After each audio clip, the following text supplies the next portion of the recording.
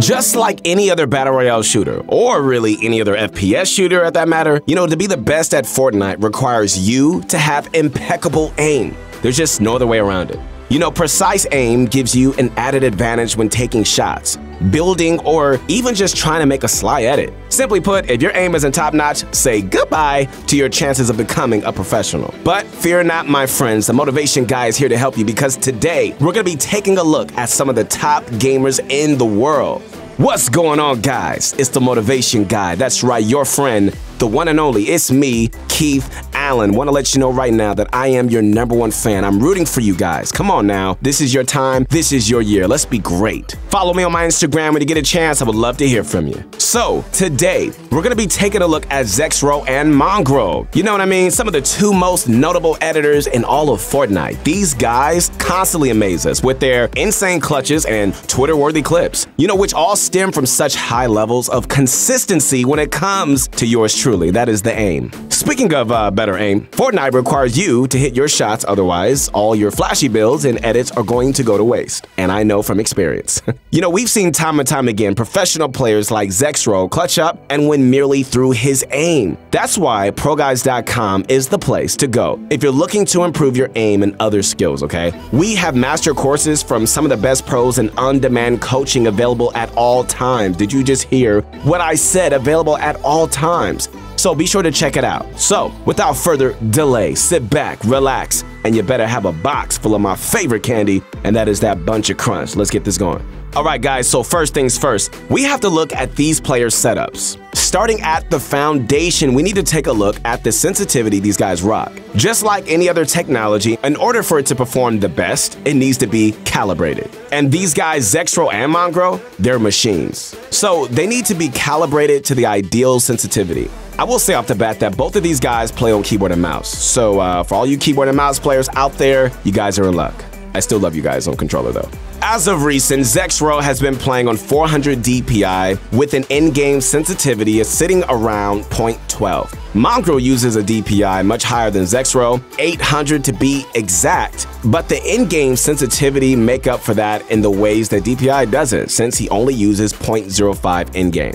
Averaging out the DPI with in-game sensitivity is what is known as eDPI. This means you take the DPI and you multiply it by the in-game sensitivity and you get what is called the effective DPI. Zexrow's eDPI is 48, while Mongraal clocks in slightly lower at 40. Now, before I make any conclusions, I have to make a single disclaimer. Everybody has a slightly different sensitivity that they are most comfortable with. You're gonna have to do some trial and error, guys, to find that sweet spot. You know, but once you do, your aim will instantly begin to improve. But I'm here to tell you guys today that between 40 and 48 eDPI is a really good place to start. If you have two of the best gamers in the game, both having similar sensitivities, going too far away from that might put you at a slight disadvantage. It makes the uphill battle of trying to become a master aimer that much more difficult, and who wants that?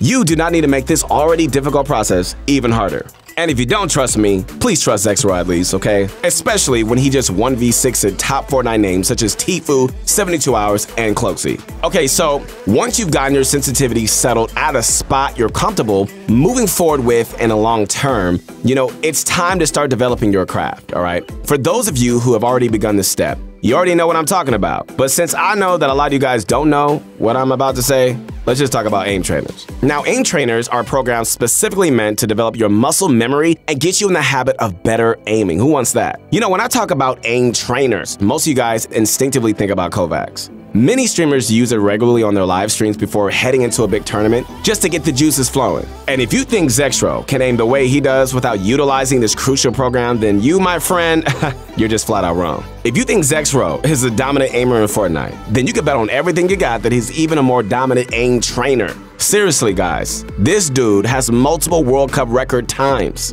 All right, so take a look at this.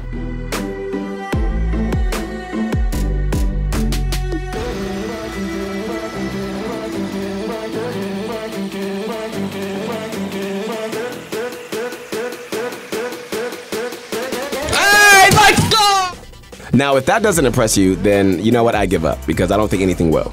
On stream himself, the man just showed you how to set a world record, okay? And that is to just get good. No, no, it's not that. But seriously, you gotta ask yourself this how did he get there? And the answer is pretty simple. And I know this is a word that a lot of you guys are frightened by, but it's practice. He has hundreds of hours logged into the game, right? And if you want to get anywhere near the level that he's at, not only in this game, but also in life, you're gonna have to do the exact same thing. And that's just practicing, man. There really is no simple way to work around that. Now, if you play on controller, what's up controller guys, which I think a majority of you guys do, Mongraal has you covered. Instead of the good old Kovaak's, you know what Mongraal does? He prioritizes aim training maps. These aim training maps have been specifically made for top players like Mongraal to use, so I'm pretty sure that they're more than suitable for you guys who are watching right now. So over the past two years, Mongraal has been using aim training maps just like the one you're seeing right now to craft his precision. And in my honest opinion, in my humble opinion, in-game aim trainers are far superior than external trainers. The reason being if you really want to know, is it's more difficult to translate anything outside of the game into Fortnite if you're comparing it to an in-game practice. With aim training maps, you're already inside of the game on your native sensitivity, FOV, resolution, and everything else. So, I would say to you, controller players, not having Kovaak's as an option isn't really that much of a disadvantage. If Mongraal doesn't rely on it, then neither do you. All right, so with that being said, let's talk about high pressure situations.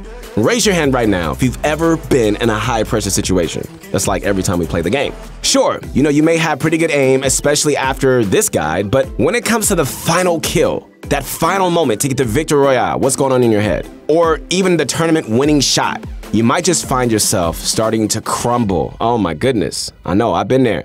Also, we can look at Zexrow for some solid advice and an Ask Me Anything, also known as an AMA on the social media platform Reddit, Zexrow answered a bunch of questions related to the competitive side of Fortnite on the comp sub. One of the questions, of course, was regarding how he was able to never crumble under pressure.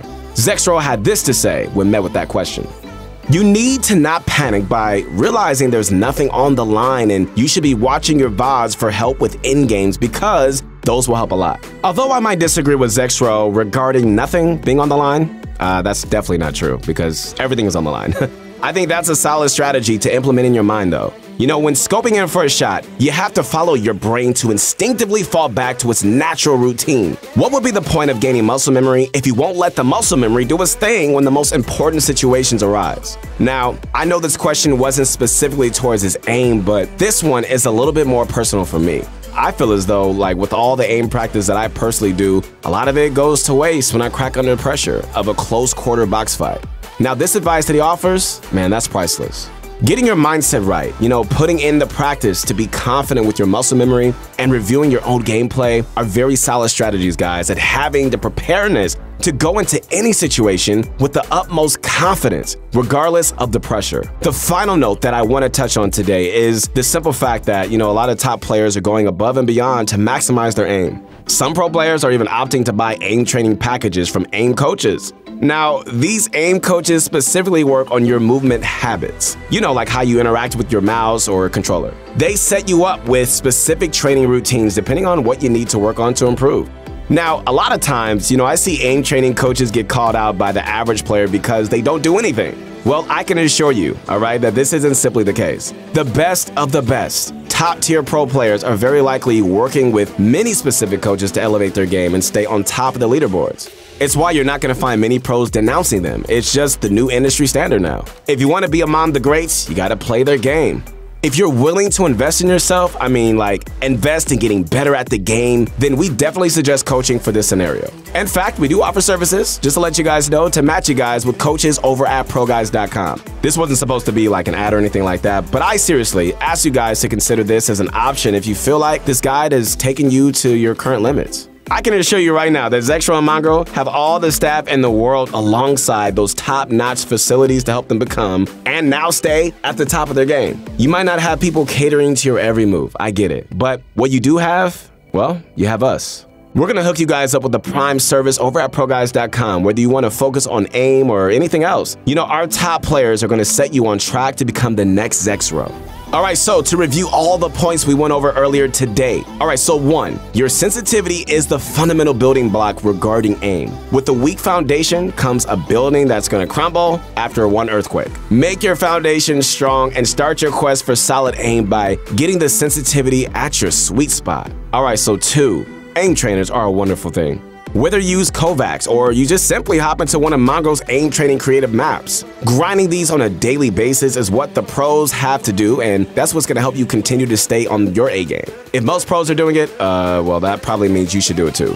3. High pressure situations are very likely to cut into your muscle memory, but Zexrow put it best. You have to look past the pressure, guys, and act like the play you're going for is like any other. It's how he consistently clutches up, and he's practically offering you guys the keys.